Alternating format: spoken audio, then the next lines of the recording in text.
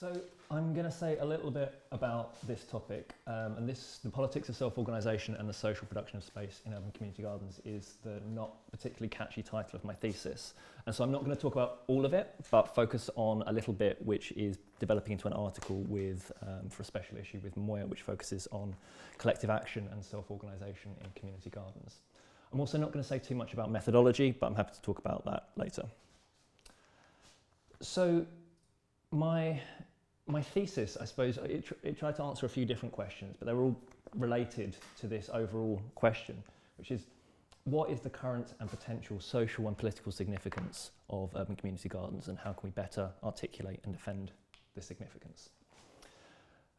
So I'm going to reflect a little bit on this at the end, but I think it's probably too big a question to answer in, in 40 minutes. So I'm going to focus on, on this sort of sub-question, which is how does self-organisation in community gardens contribute to their spatial development? And I think the first thing I want to convince you of is that actually this second question is relevant for answering the first. And the other thing is that actually the spatial development and the self-organisation in urban community gardens actually has a lot to do with determining their impacts in the city.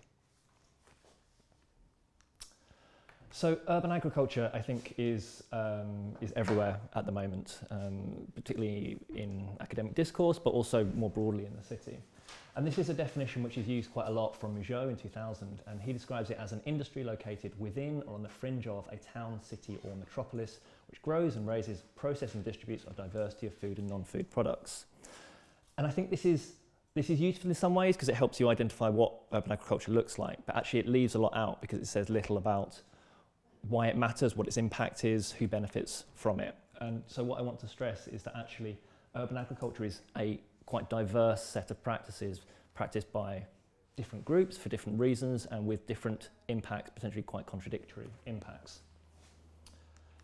So just as a side note, um, I think we're coming to recognise now that urban agriculture isn't a, a hangover from an agrarian past. It's actually part of modern cities and it's part of modern life. It's not a trans, uh, transitory activity, it's not something which happens on the fringes or on available land. Actually, this is 67 million hectares are cultivated, were cultivated in urban centres in 2014. This is an incredibly significant activity.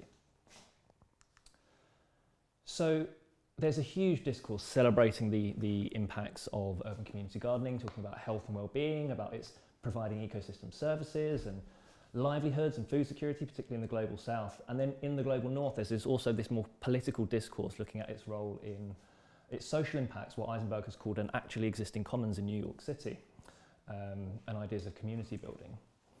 But the last 10 years have also seen a more critical approach to the subject of urban agriculture. So on one hand, saying that we, we need to be modest in uh, what we expect and what we think urban agriculture achieved because ultimately this is embedded, however transformative or radical this project sets out to be, it's, it's always embedded in a neoliberal city.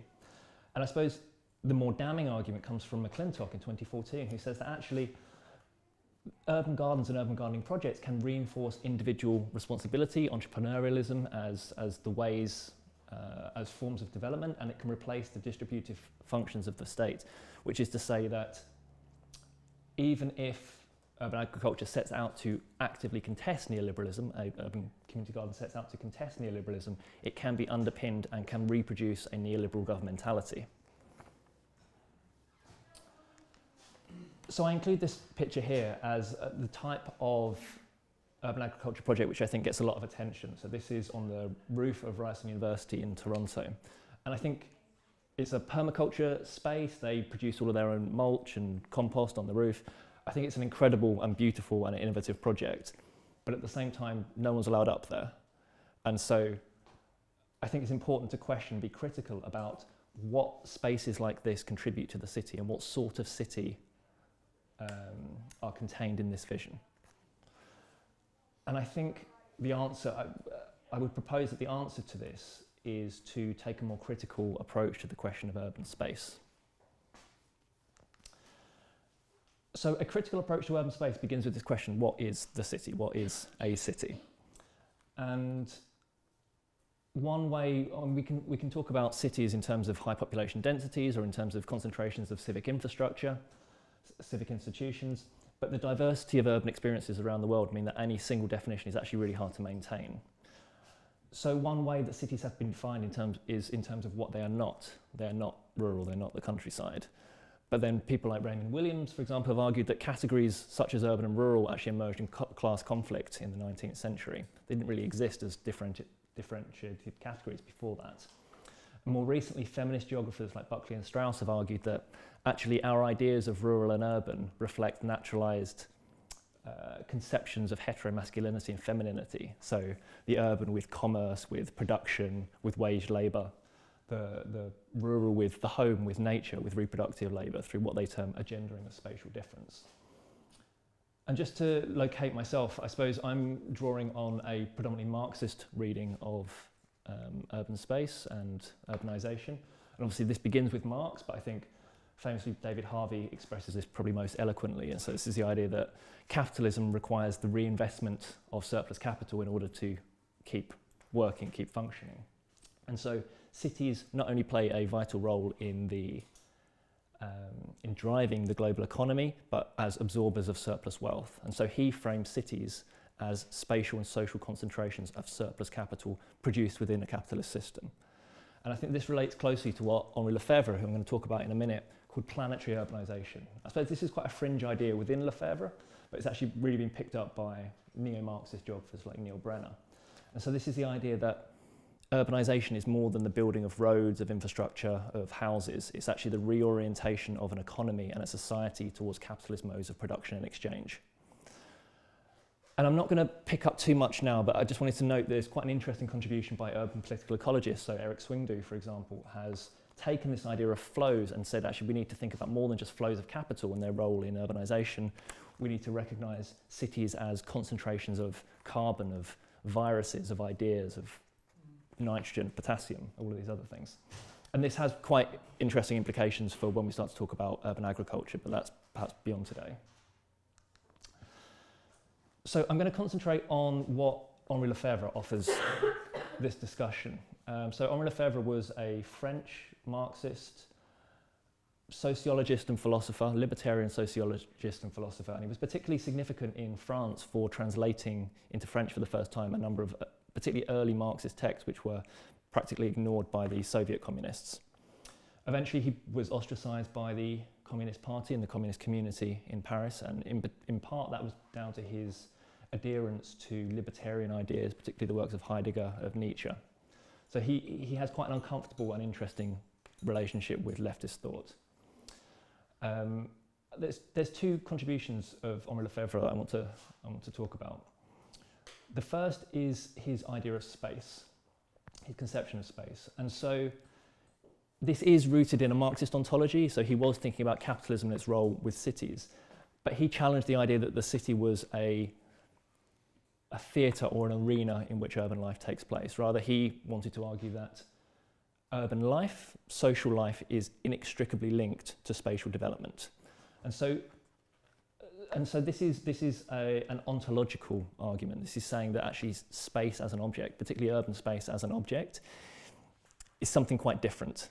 And this, this is something quite new, I think, in the, in the Marxist discourse. And so he describes, this is his quite celebrated triad, and this is, you, you, you see this particularly in, in architectural studies, three moments of space, which he called spatial practice, representations of space, and spaces of representation, but which are more commonly referred to as perceived, conceived and lived space. So perceived space is the material space, it's the chairs in this room, it's, it's the, the walls, it's the ceiling. Conceived space is how we rationalize and think about this. So this is a place of work, this is a place that we come to listen to uh, presentations. And lived space, I think draws on both these things, but it's also distinct. So it's how we connect to this space emotionally, psychologically, what we expect from it, uh, our memories of it. And the idea that is that all space is continuously remade by the interrelation of these three things. So it's only because we're sitting here listening to me talk now that this becomes a room that that happens. And so all space is continuously renegotiated, contested, remade. And I think this is put quite nicely by Soja. He says that social reality is not just coincidentally spatial, existing in space, it is presuppositionally and ontologically spatial. And this relates to his idea, his probably his most famous idea of the right to the city, and this can be broadly understood as the as the collective right to democratically participate in the production and management of cities. But this this idea, this this political idea, doesn't sort of come out of the air. It's a direct product of his spatial ontology. So it's only because all cities are continuously remade by all urban inhabitants that all urban inhabitants have a right to participate in their management. So he goes from spatial ontology to political philosophy. And the way he argued that we would claim this right to the city, the way that we would uh, realize this democratic potential is through what he termed autogestion. And this translates roughly as self management, but actually it was a more political process involving self management, ownership, control, self organization. And there's a really long history of how this term has been used by both the anarchist and the communist left since the mid 19th century, which I can point you towards some of the literature on that. And this is really quite a radical idea. And what Mark Purcell's really picked up on is actually this is really challenging the relationship between people, urban inhabitants, and the state.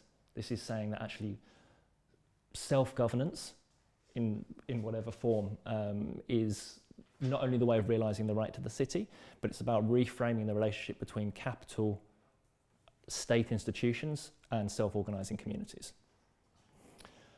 And I suppose the reason that I'm talking about the right to the city, or I've been talking 15 minutes about the right to the city, is that within, within this framing, actually the, the production of space, the spatial development of a garden and its spatial significance are inextricably linked to not only the dynamics of self-organization, but the particular modes of self-organization, the, the ways that people manage themselves. And I think gardens, urban gardens are a particularly ubiquitous example of, of this in modern cities. So this fieldwork took place in Seville in the south of Spain. It's um, an incredibly hot city um, and almost all forms of life and agriculture are dictated by when the sun is out and water management. It's quite an interesting city spatially. So here you've got the what's called the Casco Antiguo. It's the old town, which has existed in some form for a couple of thousand years. This is the first map produced of Seville in 1771, and actually these streets still exist.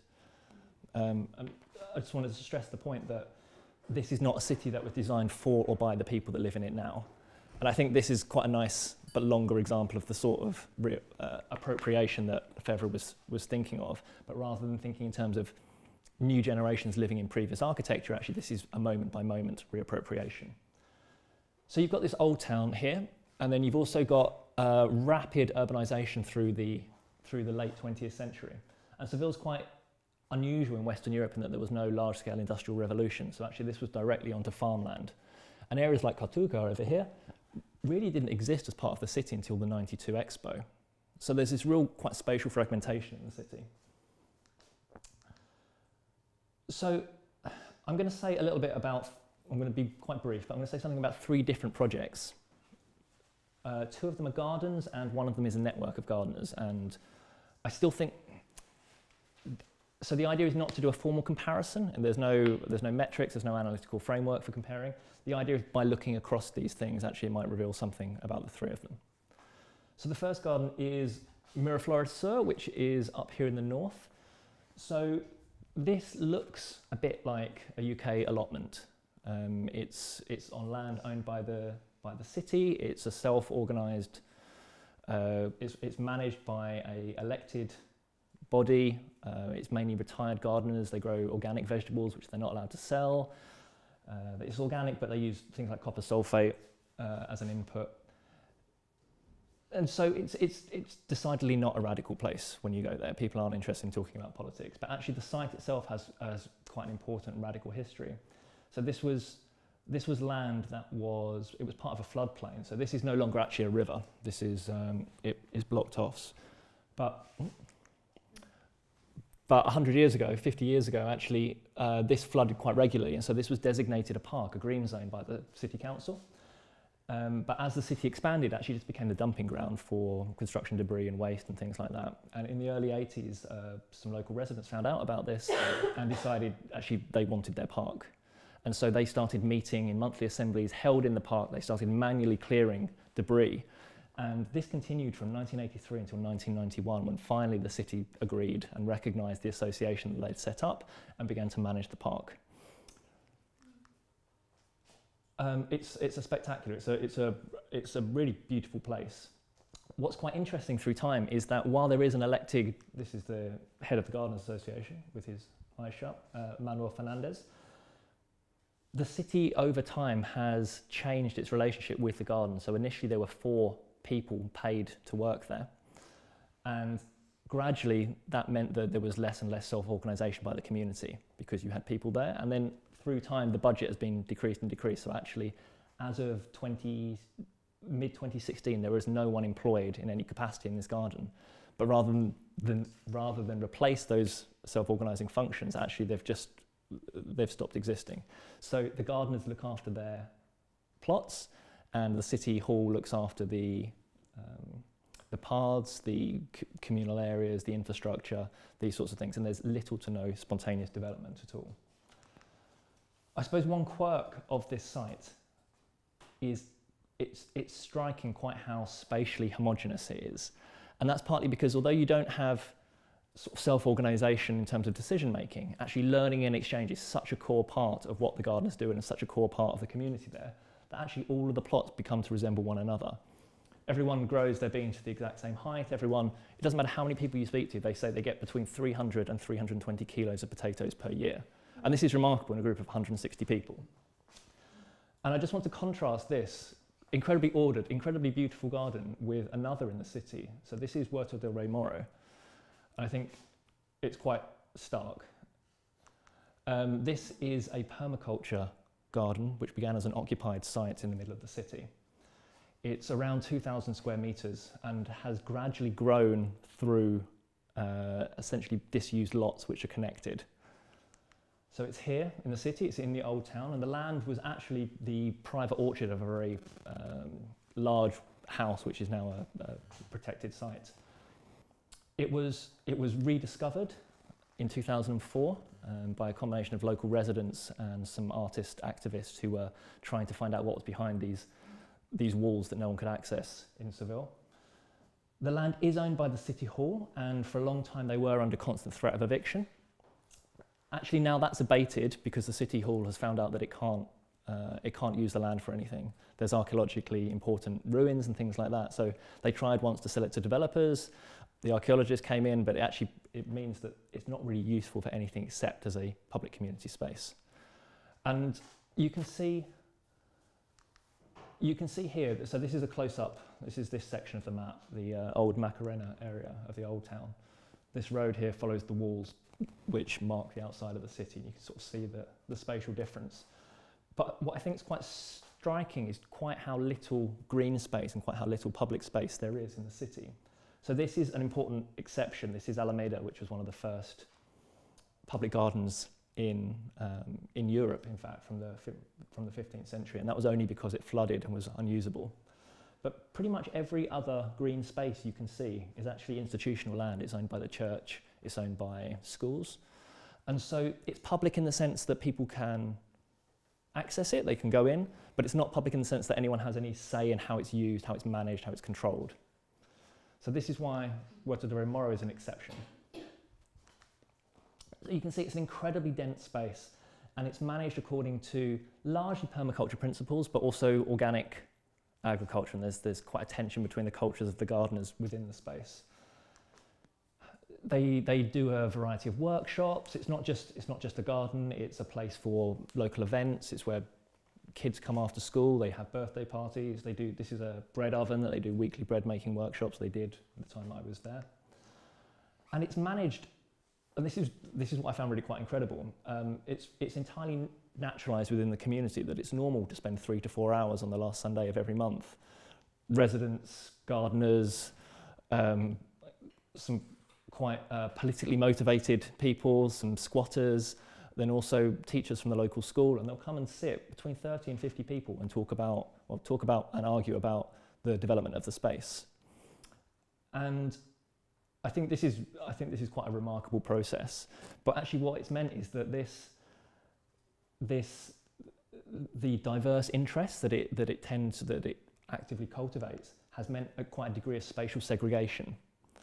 So you've got these, the permaculture areas, and then you've got quite stark lines of where, no, this is a children's play area. And so the different motivations and expectations of the space become mapped onto the garden. And this plays out in, in a number of different ways. There's all sorts of tension. So, so while it's nominally non-hierarchical, there's all sorts of ways that hierarchy emerges.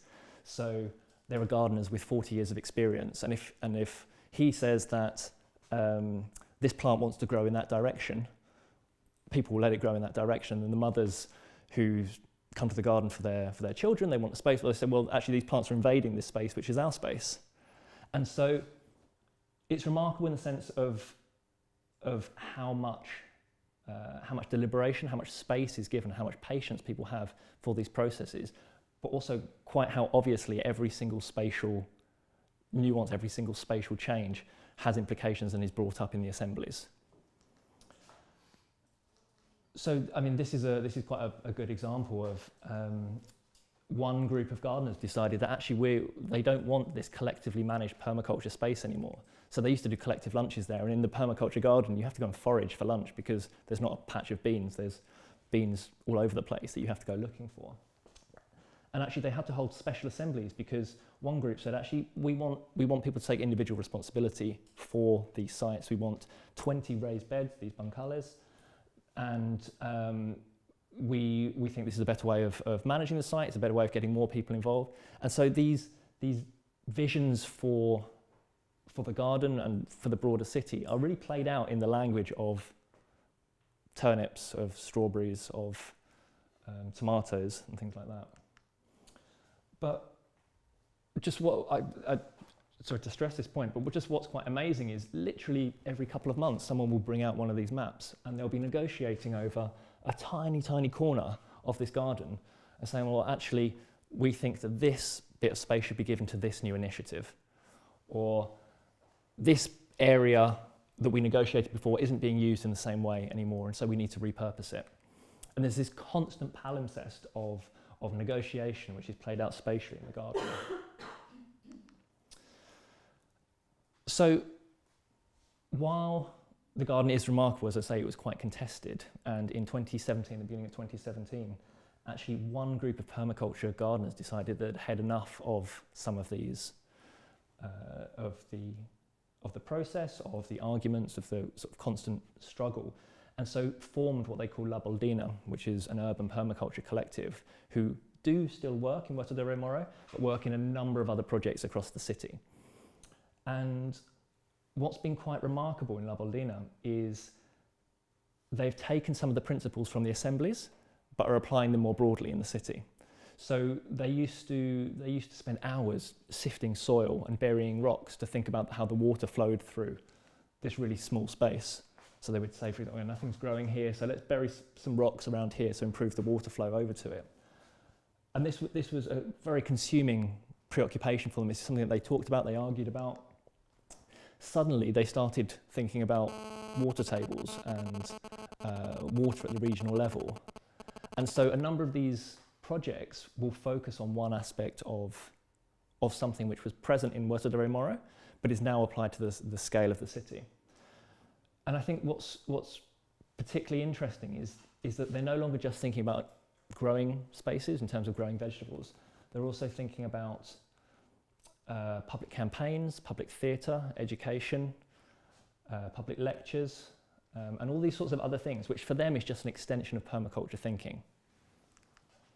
So this is uh, an area, for example, this is um, in Parque del Alamillo, and these are again city managed plots, but they went around and found the plots that weren't really being used by people and offered to take care of them and look over them. And by doing this, more people have been attracted to these ideas of permaculture. How do you design a space that doesn't need weeding and spraying with pesticides every, every six weeks or so?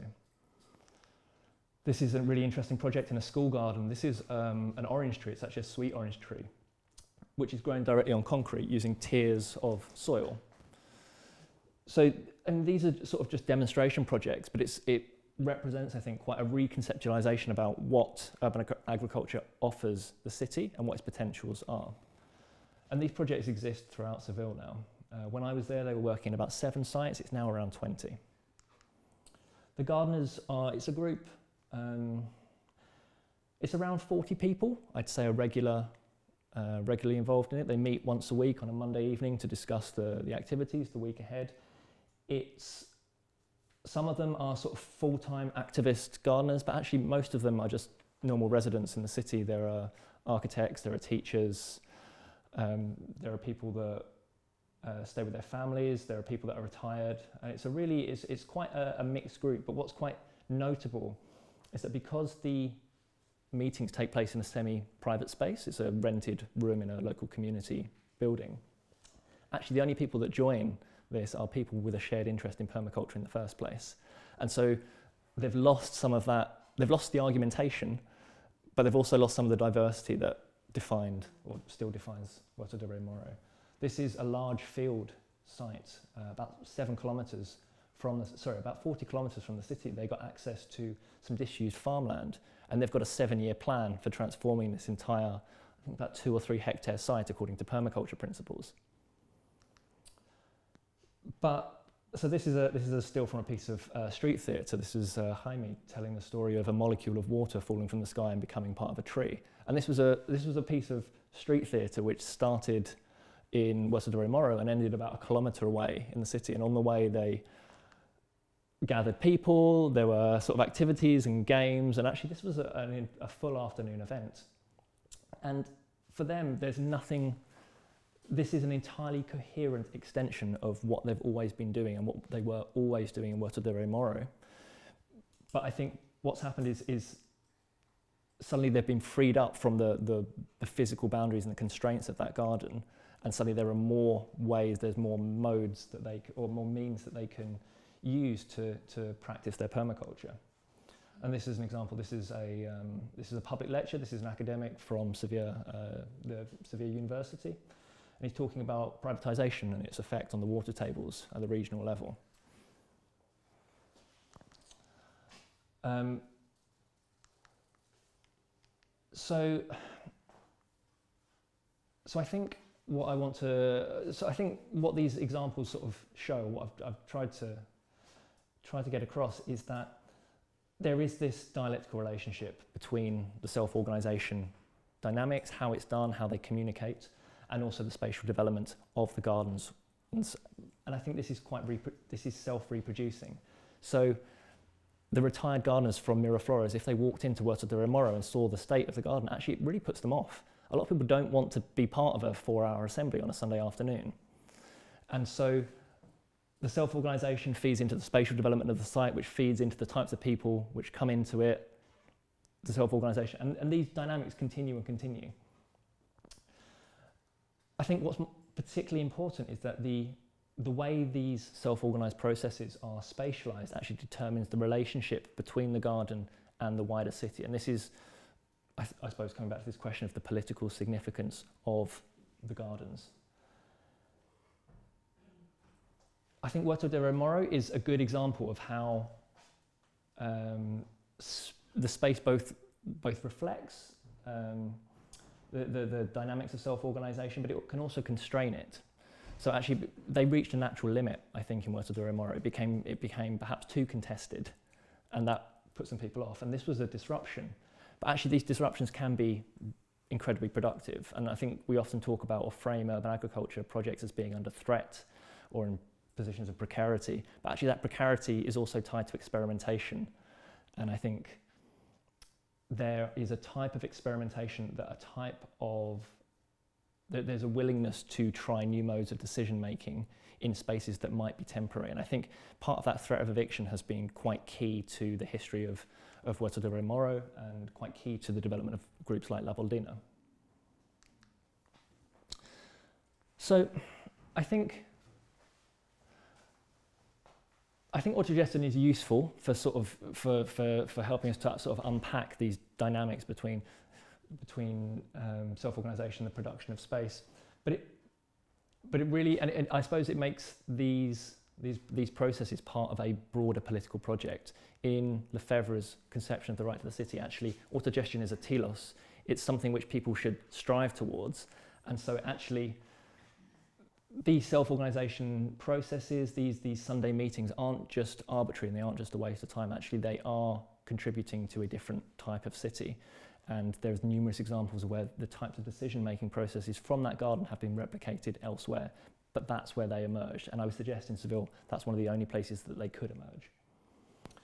And I suppose stressing Lefebvre as well is that actually these micro decisions in the gardens really matter. It's not just the big things about accessing new sites or things like that. Actually, small decisions about whether to open or close a path, whether to make something a children's area or experimental area or a permaculture or a vegetable area, actually has huge implications for the visitors of the site, how they perceive and engage with that space, which in turn affects how that garden relates to the wider city. But there are important limitations as well. So Lefebvre quite famously, doesn't really unpack the idea of community. So he talks about autogestion in self-organizing communities, but in quite an abstracted way. And so this was very much rooted in a Marxist idea. Um, I would suggest that there's, there's two key areas that he really overlooks, issues of power and identity.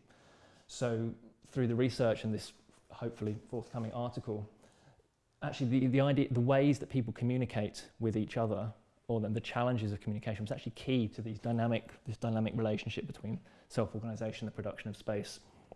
Also, the identities of the gardeners, the, what they brought with them, their expectations, their motivations for participating, hugely shaped these things in a way that I think Lefebvre can't really account for. And I suppose to, to, to go back to this bigger question, like what this means for the bigger question, I would suggest that I think I identified two key current and potential significances of the gardens. One of them, as I stress, is related to this role as a diverse and inclusive public space. Actually, gardens are not the only way that these can manifest, but in Seville this is the only way really they have manifested. I think that's something to do with, actually you can do a lot with a very little amount of money. People can experiment with the production of space, they can um, run a community project with very little outside inputs. And I think gardening has become one of the, the key ways of doing that. The other, the other significance, I th think, has more to do with the specificity of urban gardens and the specificity of growing food as a way of learning the city in, in the sense of developing new perceptions about the city. So La Boldina is a really key example of how actually it was only by touching soil watching plants, thinking about water, that actually people started to understand other processes in the city. So, for example, they are thinking about gentrification. So, one of the permaculture principles is like they, they use no-till methods quite a lot. So they don't want to disrupt the beneficial networks of fungus, etc., in the soil. And actually, why should that not be true of networks in the city? Why should we think about displacement in any, in any different way? And so they've started to branch into completely different areas of thought. And I think this is something perhaps could emerge elsewhere, but there's something specific about the link to agriculture that I think is potentially quite socially transformative. And I suppose this, this leads to this, I suppose, conclusion that regardless of how political or radical the gardeners are, actually their very existence is a political act in the city, if we understand the production of space and self-organisation in the way that Lefebvre, Lefebvre framed it. So I think, um, I think the way to, the way to approach and the way to understand gardens like Miraflores is not by speaking to individual gardeners or about what their individual politics are, but to understand what this represents as an alternative within the broader city. And that all, that's all.